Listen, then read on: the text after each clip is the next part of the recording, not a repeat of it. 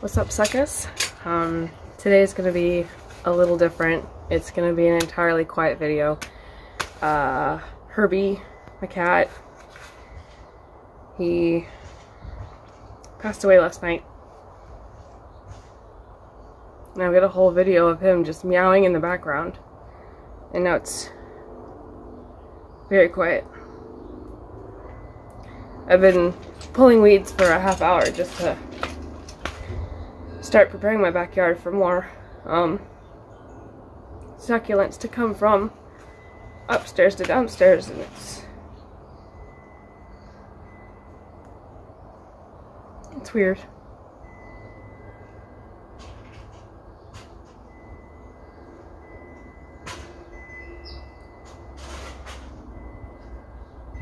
I'm just gonna be uh, shredding a succulent that's been chilling up my backyard basically doing nothing and eventually I'll add soil to the pot. So we'll go from there. Um, this will either be like a two-part series where this is the first part and then I'll have an actual talking part where I talking about how to take care of the succulents and like adding soil to succulents that have been chilling out without soil. Um, right now I have it just here out in the sun so that way you can see what I'm doing but it's a it's a big succulent it's been I got it from a friend of mine that uh, that got it from a, another woman who uh, it broke out of her um, half wine barrel. So that that goes to tell you the uh, integrity and strength of this succulent to break out of wood. So that's what we'll be doing today.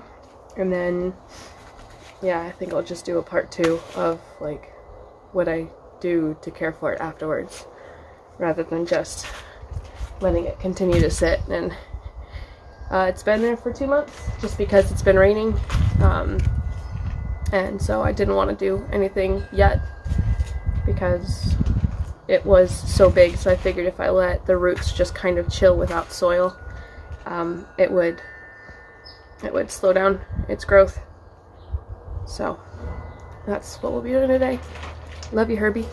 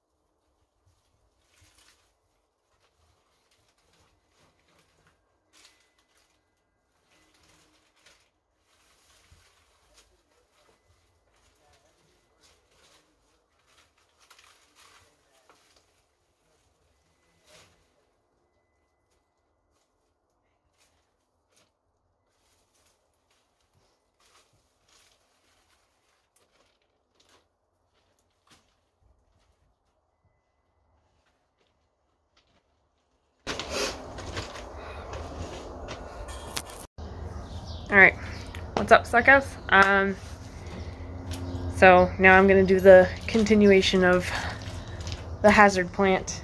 Uh, I do have some soil, it's not enough to fill the pot, but I'm also going to be pulling out half the actual succulent that's in the pot because the, even though the pot's big, the plant's too big. So that's what we're going to be doing today. I don't know where my other glove went. I refuse to touch my plants. One second. Alright, found it. yeah, especially with this one. This one's technically a white spine. Um, one of many variants, and it's huge and kind of dangerous without gloves. So, uh, that's what we'll be doing today. And a couple days after we ended up working on this, it rained. So, again, couldn't come out and work on it. So now we actually have to start over essentially really dirty though. And this guy does not like that much sun and I've kind of just left it in the sun. So we're gonna we're gonna fix that real quick. Um, this specific succulent really likes grit in its soil. It's not just a plain soil type of succulent. It really likes having some grit in it that can also absorb and hold some of the moisture without necessarily losing all that it can absorb. So that's what they're going to be doing here. All in a bunch of little tiny pieces. There's a lot of there's a lot of this plant, that's for sure.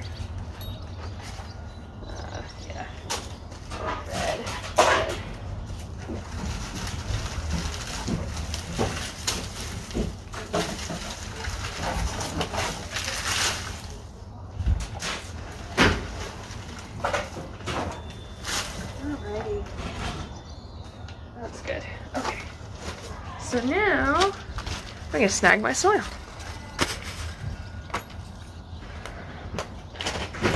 Alright. Don't forget first and foremost to actually use your cactus and palm soil.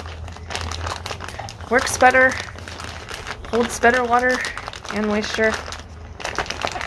And especially where I, I am, I'm surrounded by beaches, so I enjoy not coming out all that often to water my succulents.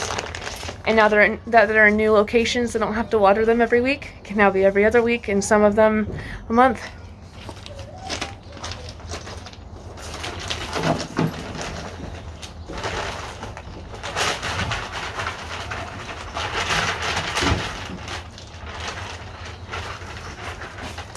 Okay.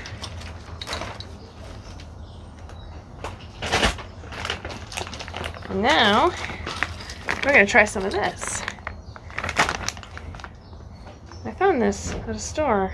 It was suggested to me. I looked over all the ingredients and thought, well, why not? Why not try this with this specific plant? It's basically got all the stuff that I need. Oh, I might need scissors.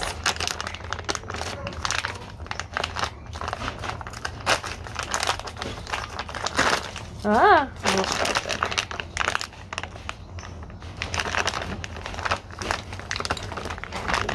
I don't have like a table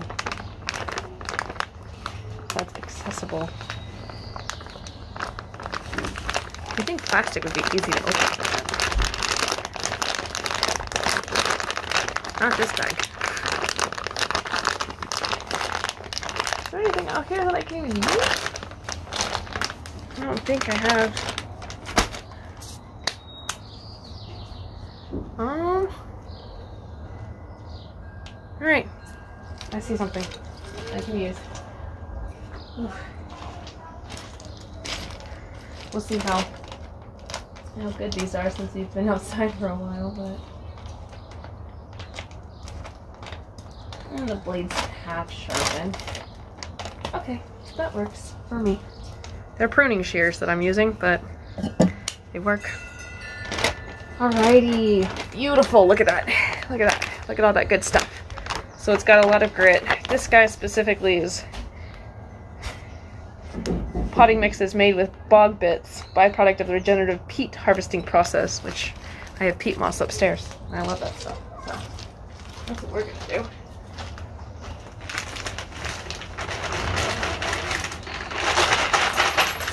Yeah.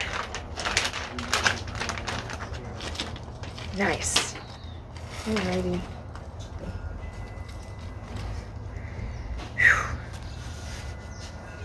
And now we're gonna churn it.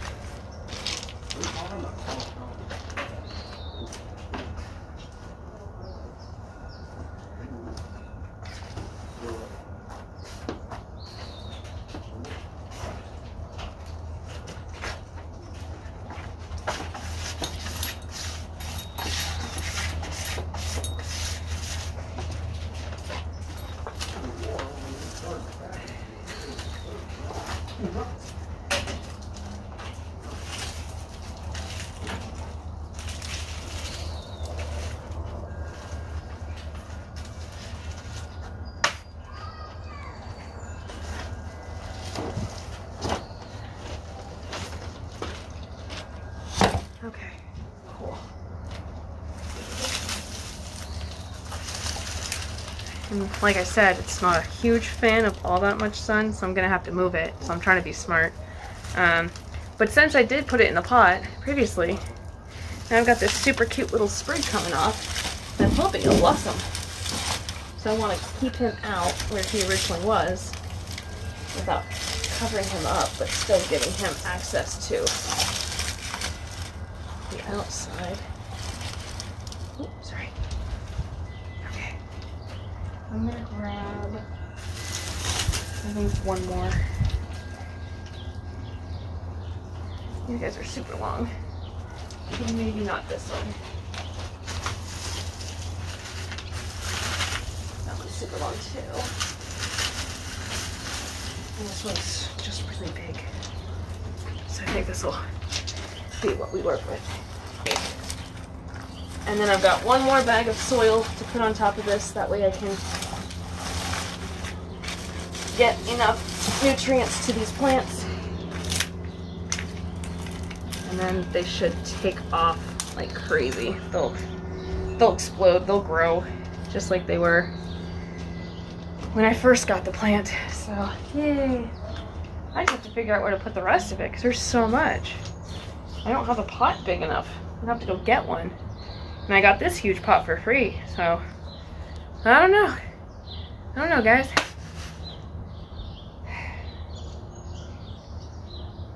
Alrighty. Cool. Cool. There's dirt in my gloves, so, you know, that whole thing of like, don't forget to wear gloves. Wear gloves before you touch dirt. That's smart. Okay, so before I officially grab my soil and cover it up, we're just flip this guy around and show you what it currently looks like. Got my major major plant here with the side plant here and then we have some pups off the side.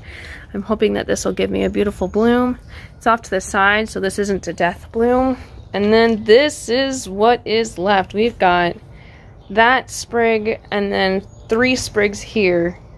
And I have to find a pot that's probably going to be just as big as this.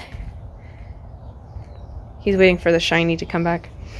So yeah, that is what we're doing. And then finally, now that I've gotten most of 90%, 99% of my plants downstairs, we finally can do an actual like yard tour and everybody in this greenhouse, even though it's exposed to the sun, um, it's arranged in such a way that the ones that don't like a whole lot of sun are right in the middle and the ones that do are pulled forward and the ones that again aren't huge fans but will take sun are pushed to the back and this one's finally growing again I I did a whole video on repotting this and at the time I was thinking great I shocked it I killed it but now I've got a bunch of babies just pushing off. And then, yeah, I've got my jade. This guy was also in a video where I said that I was waiting for him to recover, and, well, here we are. yeah, so I love this specific succulent as like one of many. Well, obviously, I mean, I, I grow them professionally, but just like I was looking for something like this because the way that the flowers come off, just they're they're gorgeous. Like you don't you don't really see this kind of fashion on anything else, but then as these flowers die, the rest of the succulent goes dormant, and that's ten that tends to be what most people think. Oh no, it died. I'll just get rid of it, and you just gotta have patience. And then since we're getting into the warmer months, I've got a lot of them that are slowly, even this guy, slowly pushing off their little blooms. Um, this one sometimes does, but I think now that it's recovering, uh, we're not to get anything this year. I'll keep an eye out though. I'll definitely keep an eye out. Um, yep, I, I, just had this guy bloom, but now I'm waiting for the little sprig, so we'll do an update on that. These guys just popped off. Um, this is a weed. Don't don't get super excited. I'm still waiting for this succulent to come back though. This was attacked by mites, so that's where we what we're waiting for. Let's let's walk around here a little bit. Yeah. Let's see, anybody else putting off blooms that I can see? This one's finally healing. And these guys are finally taking off. Yep, there's little babies back here. There we go. Yep, my cactus, my... This one, this one's finally got a sprig that's going all the way up. Just waiting, waiting for it. Got Cthulhu and my red spine popped up here. They're not a huge fan of sun, and just had to save them a little bit. My ruby, ruby slippers down here. This one, this one's finally pushing off flowers. It's from the center. I'm almost concerned if that's a death bloom. I'll have to go in and grab some babies, but got a tiny baby right here that's pushing off. My newest cactus. And then I gotta say, this is the coolest thing I've ever gotten as a gift. Um, my mom made this out of recycled water bottles for my wedding, and it was the centerpiece at one of my tables. So this guy's super happy. I love it, but some of these are getting a little big for their pots, so we'll have to trade them out for the baby babies, so that way I can get my big adults, but super happy. Don't forget, this is a fake flower. This one also came with a fake flower. I pulled it off though, I want it to survive. This guy was attacked by mites. Been doing treatment on that. This is a new case that we're going to be discussing in the next video I make. I'm actually super excited about it because you can see it's already affected a couple other succulents. Though this was the, the, this specific problem started before I started moving my succulents around. So at the time I hadn't caught it. So this got sunburned. Even though it was pushed to the back, the way that the water sat on the leaves, it got terribly sunburned. And that one did too. It's like specific succulents will gather water on their leaves, but even then when you go to like fix it or pick it up, it's, it, you know, kind of droops off and you think you're doing right until you look at the backside and realize that you weren't doing so great after all. Got some babies in there. Had to do a recovery project with this one. So she's got a huge, huge stalk. So I'm going to have to find her a really tall pot and then bury her up to the head, just like I did with my other princess. So we're basically starting that one all over again as well. Let's see, we got some flowers starting. He's a little he's a little dirty too. I had to push him to the back. Um, recovery project. They're not doing too bad, but they're also not doing too great. They're still green, but their their center is this one's definitely gonna push off babies. That's that's I know. These are the babies. This was sunburned. I actually recovered this from a neighbor's yard, so I say recover, they say stole, but and this guy already finished with his bloom. So that's all that we've got. Yeah, a little bit of sunburn, but more sun exposure than sunburn. There's no shriveled up pieces, but I just have to keep him covered. This also got attacked by mites, so this was another recovery project. So, so far, we're doing okay. This one, the aeration roots just means that it needs either bigger stock or more nutrients in the soil or more water, so I'm, I'm doing a little bit of both. and as you can see, the back side versus the front side, you can see how much sun this guy gets. So some succulents will actually change color according to how much sun they get. So just like this one, you can see how much sun it got versus this one with how much less sun it got being covered up. So that's why I'm moving this guy. Just need to fix him up. Oh, yes. And then one of my hanging pots has a whole, whole bunch. And then my Mother of Millions, again, like I said, I'm doing a recovery project, so now I've already got two sprigs popping up, plus a bunch of babies. Should be able to get those to take off, but they're separated just so that way I can make sure they recover, because you can see the parent stock is now officially dead, so I just need to pull that out. But that was the intention. So, yeah, that's where we are. All right. Thanks for sticking around. Thanks for tuning in. Rest in peace, Herbie. And till next time, peace out, suckers.